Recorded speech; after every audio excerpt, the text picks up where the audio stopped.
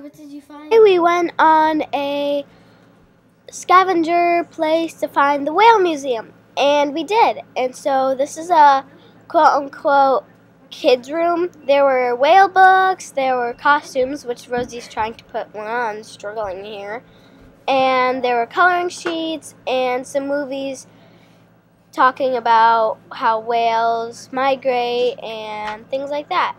So, hope you like the video. You want to spin for us? What else are you? Look, let's measure you.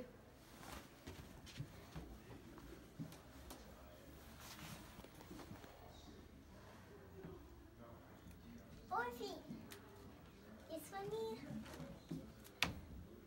That one me. Let's see. It's I video you. No. Yeah. How how tall are you? You are five feet.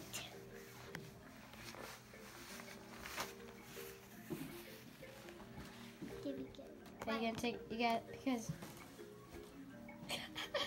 Wait, you still have shoes on.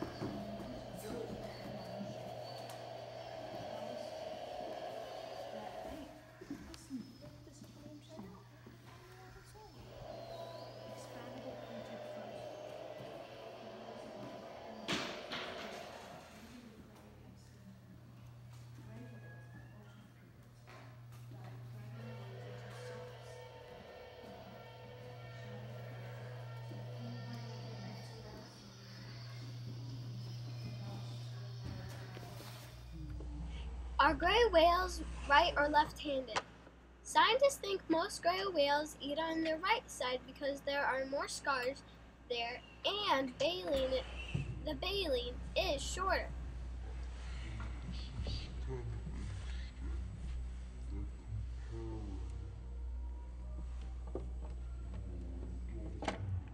Here are the parasitic worms. Unlike other species, worms infest the inside of a whale. Here's a 27 foot long worm that came from a gastrointestinal tract of a porpoise. Um, whales may get worms by eating larva infested prey or eggs floating in the water. Once inside the whale, larva and adult worms eat the whale's tissue and can damage internal organs. A weakened immune system can lead to disease and possible death. Some scientists theorize that some mass strandings are related to internal parasites. See, that is a very long worm right there.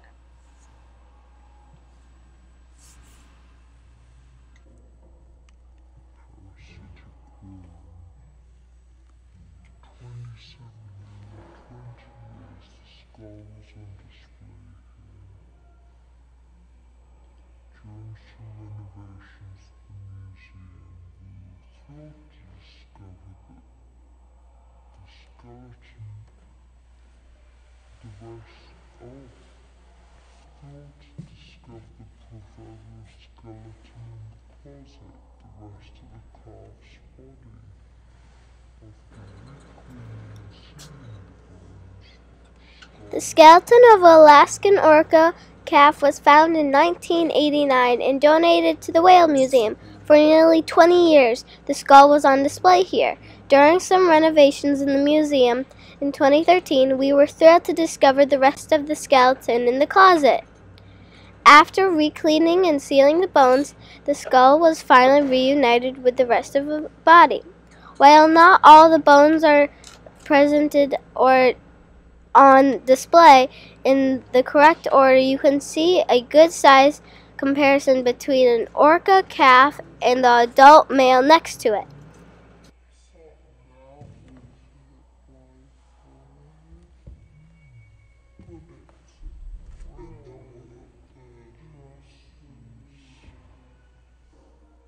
Netting near Neah Bay Coast Guard Station. Body was collected by British later donated to the Whale Museum in 1983. So this one was only a year old, so it wasn't fully grown yet. Maybe. I don't know. Still pretty big.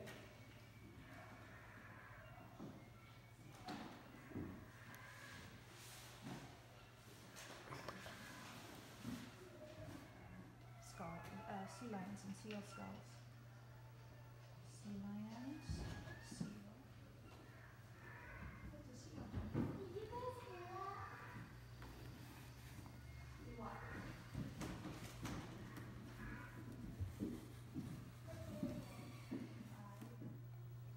Grey whales in the news.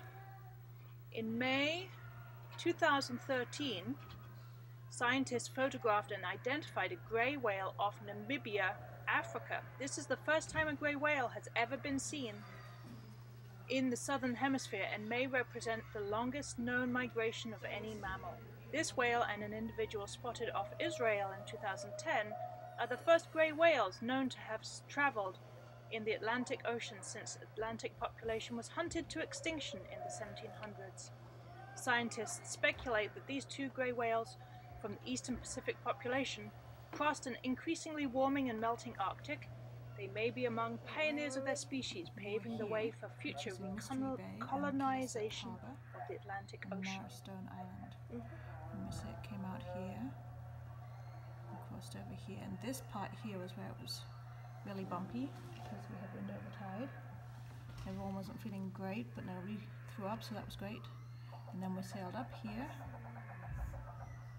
here, and came through here. And this is where we are right now, Friday Harbor.